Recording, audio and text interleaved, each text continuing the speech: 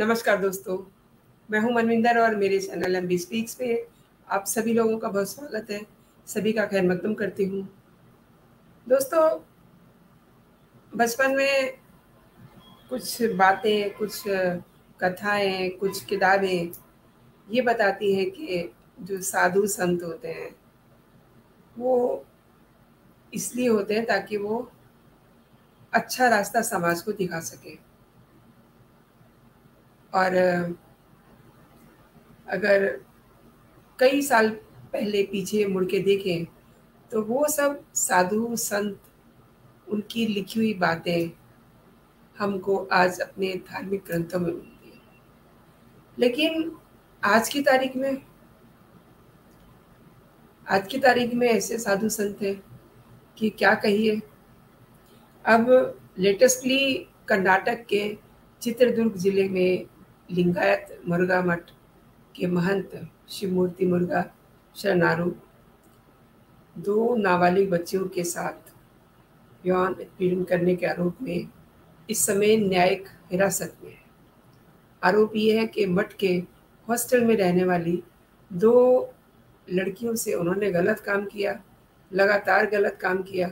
इन बच्चियों ने जब अपने घर में बताया तो वो लोग भी एक बार डर से काँप गए, लेकिन फिर उन्होंने हिम्मत की, वो पुलिस में गए और इस पूरे मामले का वहाँ पे शिकायत की। उसके बाद इनको हिरासत में लिया जाता है।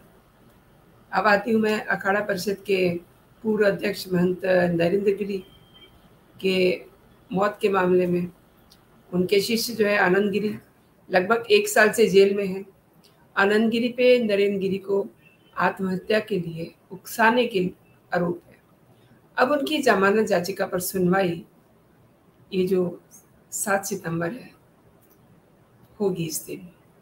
इन लोगों ने एक बार फिर से उन सब साधु संतों की याद दिला दी है, जो बेहद गंभीर आरोपों में हत्या रेप जैसे आरोपों के बाद अब कानूनी शिकंजे में है। सबसे पहले मैं बात करती हूँ आसाराम बाबू। सच बताऊँ, जिस समय इनके प्रवचन आ रहे होते थे तो टीवी पर उन्हें सुनने के लिए महिलाएँ अपने घरेलू सारे काम छोड़ देती थी और उनकी बातें सुनती थी। और अगर वो किसी शहर में जा कर के प्रवचन देते थे तो महिलाएँ ग्रुप बना करके उन्हें सुनने जाती थी। उन महिलाओं का कोई कसूर नहीं है, लेकिन ये जो साधु संत होते हैं ये कुछ ऐसे काम कर देते हैं कि इनसे अब विश्वास उठने लगा है। खैर, आसाराम की बात करते हैं। एक समय था जब उनको मानने वाले देश की बड़ी बड़ी हस्तियाँ उसमें शामिल थी। लेकिन एक नाबालिग बच्ची के साथ गलत काम करने के बाद उन्हें सलाखों के पीछे जाना पड़ा। दरअसल 2013 में यूपी के रहने वाली एक नाबालिग लड़की ने दिल्ली पुलिस में शिकायत की थी कि आसाराम ने जोधपुर के आश्रम में उसका यौन शोषण किया। 20 अगस्त 2013 को बच्ची का मेडिकल करवाया गया। इसके बाद आसाराम के खिलाफ नाबालिग से रेप करने का मुकदमा दर्ज किया गया। दिल्ली पुलिस ने ज़ीरो एफआईआर दर्ज करके माधोपुर ट्रांसफ़र कर दिया मामले को और 2 सितंबर 2013 को आसाराम की मेडिकल जाँच हुई। जिसमें ये साबित हो गया कि वो यौन संबंध बनाने में सक्षम है। क्योंकि उनके वकील ने यह प्ली दिया था कि वो इतने बुज़ुर्ग हैं, वो तो ऐसा काम करने में सक्षम ही नहीं है। तो मजबूरन कोर्ट को ये टेस्ट भी करवाना पड़ा था। इस टेस्ट की बड़ी चर्चा हुई थी। खैर, सात अप्रैल 2018 को S T S T S T विशेष अदालत के ने मामले की सुनवाई की और 25 अप्रैल 2018 को अदालत ने आसाराम को नाबालिग से रेप का दोषी करार दिया और उन्हें आजीवन कारावास की सजा सुनाई है। केस के ट्रायल के दौरान दस चश्मदीद गवाहों के बाद जो है इन पे कई और भी मामले दर्ज हुए और इनमें से तीन जो चश्मदीद गवाह हैं, उनकी मौत भी हो चुकी है। अब आते हैं संत रामपाल जी के बारे में बात करते हैं।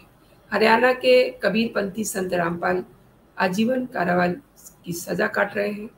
उन पर हत्या हत्या की कोशिश, राजद्रोह, दंगा भड़काने, लोगों को अवैध रूप से बंधक बनाकर रखने और अदालत की अवमानना करने का मुकदमा चला। 2006 में रामपाल ने सार्वजनिक तौर पे सत्यार्थ प्रकाश के कुछ हिस्सों को लेकर के आपत्ति जताई थी। जिसके बाद आर्य समाज के समर्थकों का गुस्सा भड़क गया था। 12 जुलाई 2006 को आर्य समाज के समर्थकों सतलोक आश्रम के अनुयायियों के बीच में झड़प होती है, जिसमें सोनू नाम के एक आर्य समाजी अनुयायी को गोली मार के हत्या कर दी गई थी। रामपाल के खिलाफ हत्या का केस चला और उन्हें गिरफ़्तार किया गया। 2008 में जमानत पर रिहा कर दिया गया। नवंबर 2014 में अदालत ने फिर से उन्हें गिरफ़्तार कर लिया। लेकिन आश्रम के हज़ारों हज़ार उनके जो फॉलोअर्स थे, उनके विरोध के कारण रामपाल की गिरफ्तारी नहीं हो सकी। 19 नवंबर 2014 को उनके फॉलोअर्स और पुलिस के बीच एक अच्छी वाली झड़प होती है, जिसके बाद रामपाल को गिरफ़्तार किया जा सका और झड़प के दौरान पाँच महिलाओं और एक बच्चे की मौत भी हो जाती है। उनकी हत्या का मामला राज्यपाल के खिलाफ चला।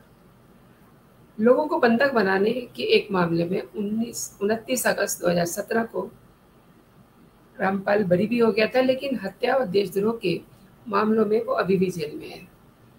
11 अक्टूबर 2018 को हिसार कोर्ट ने रामपाल और उसके कुछ फॉलोअर्स को बरवाला की घटना में हुई हत्याओं का दोषी करार देते हुए उन्हें आजीवन कारावास की सजा सुनाई थी।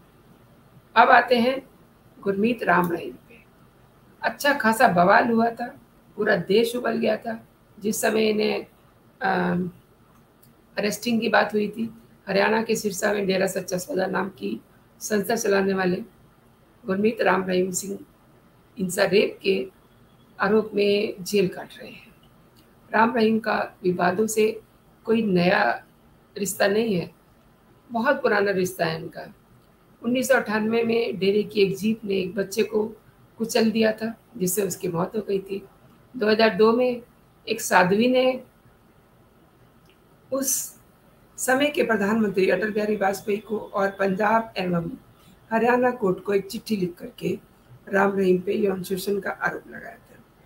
इसके बाद राम रहीम के खिलाफ सीबीआई की जाँच शुरू हो गई थी और उसी साल राम रहीम पर एक पत्रकार रामचंद्र शतपति और डेरा के ही एक प्रबंधक रंजीत सिंह की हत्या का आरोप लगा था। संतों को ऐसे काम करते हुए जरा भी डर नहीं लगता। एक बार डेरे की ओर से सीबीआई के विशेष जज को भी धमकी भरा पत्र लिख दिया गया था। इसके बाद जज ने सुरक्षा मांगी थी। 25 अगस्त 2017 को पंचकुला की एक स्पेशल सीबीआई अदालत ने गुरमीत राम रहीम को रेप के मामले में दोषी करार दे दिया था, जिसकी वजह से पंचकुला और सिरसा में भयंकर दंगे हुए थे और लगभग 38 लोगों की मौत हो गई थी। 28 अगस्त 2017 को सजा पर फैसला आया। कोर्ट ने राम रहीम को 20 साल की सजा और 30 लाख जुर्माना भरने की सजा सुनाई। सीबीआई की विशेष अदालत ने गुरमीत राम रहीम को उसके खिलाफ रेप के दो मामलों में 20 साल की सजा सुनाई। अब आते हैं मिर्ची बाबा, जो हाल ही में जिन्होंने एक बड़ा कांड किया है। वैराग्यानंद गिरी उर्फ़ मिर्ची बाबा एक महिला के साथ रेप करने के आरोप में इस समय जेल में बंद है। मैंने इसका वीडियो भी बनाया था। उन्हें 8 अगस्त को, यानी यही महीने की 8 अगस्त को, भोपाल के सेंट्रल जेल में भेजा गया था। पुलिस मिर्ची बाबा के एक चेले गोपाल की तलाश कर रही है। उस पर महिला को बाबा के पास लाने का आरोप।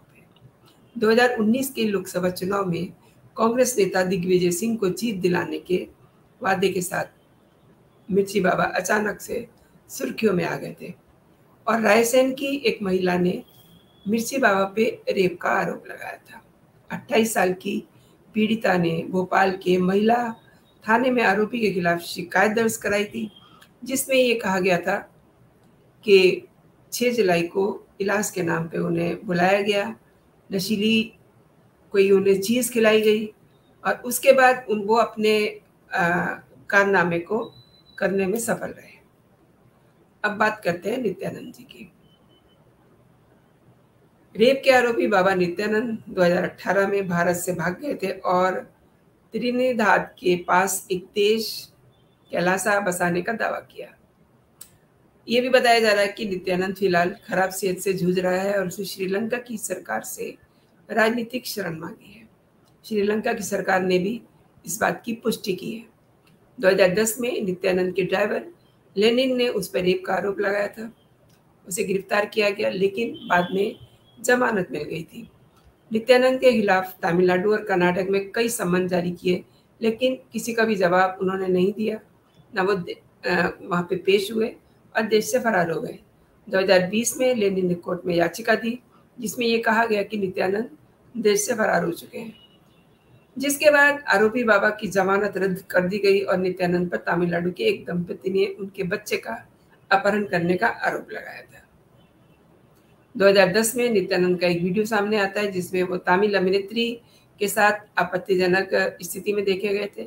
इस वीडियो को बाकायदा एक टीवी चैनल ने चला भी दिया था।